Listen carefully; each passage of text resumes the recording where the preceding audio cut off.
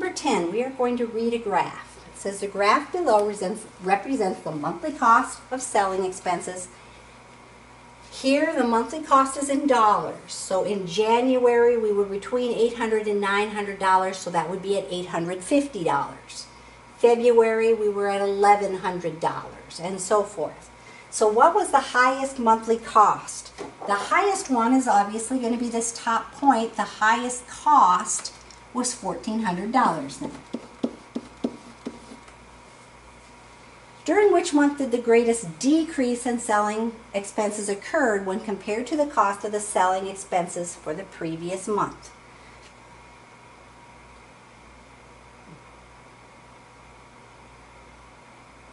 So we're trying to find where the greatest decrease occurred. So here we're increasing. We went from 850 to 1100. Here we're also increasing. We went from 1100 to 1400. Now we're figuring out where did we decrease? How much did we decrease by? So here we're going down. Those are decreases. 1400 to 1250. So I'm just going to grab my calculator here.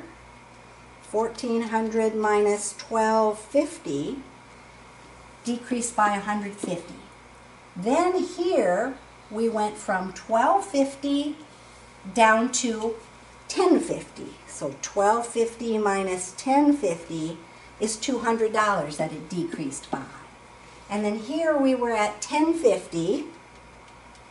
We went down to 950.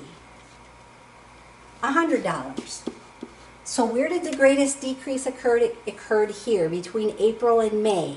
You're then going to say that the greatest decrease occurred from the previous month in May.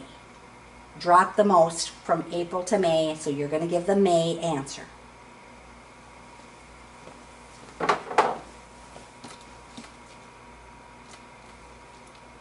So number 11 says the graph below represents the average ticket sales per game by a college football team in each season during the seven season period. So for example, here in 1996, we were right here.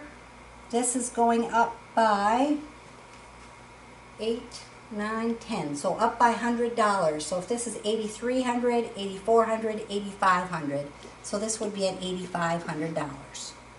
1997, we'd be just at $8,400 and so forth.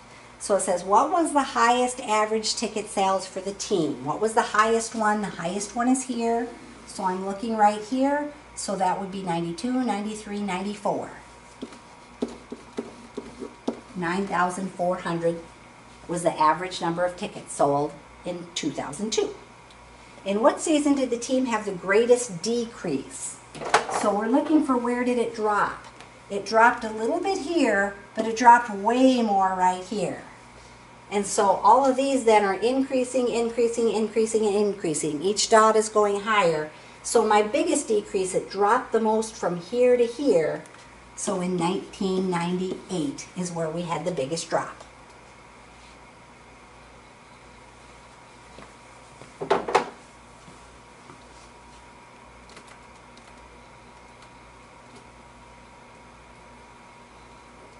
Number 12, again we're looking at our graph. The graph represents the donations collected by a small charity organization for a six-year period. These are going up by thousands, and so in between here would be 750. So what was the lowest amount of donations collected? So right here's my low. My low is between 13,500 and 12,500. If you're not sure, add them up and average them because it's halfway between those two numbers. So 12,500 plus 13,500 is 2,600. If I divide that by 2, halfway between those is going to be 1,300, right? And so this one here is going to be 1,400 and so forth. So what was the lowest amount? $1,300. In which year did the organization have the greatest increase? So I'm looking for where it increased. Here it increased, it's going up from one point to the next. Here it increased, and then here it increased a whole lot. So the biggest increase is right here, And so the greatest increase in donation compared to the previous year, the biggest increase in 2001. If you're not sure, figure out the two ends and subtract to figure out what the difference is between those. But here, hopefully, it's fairly obvious that that's where it went up the most because it was way down here at 1400 and ended up at 1800. So it increased by quite a bit.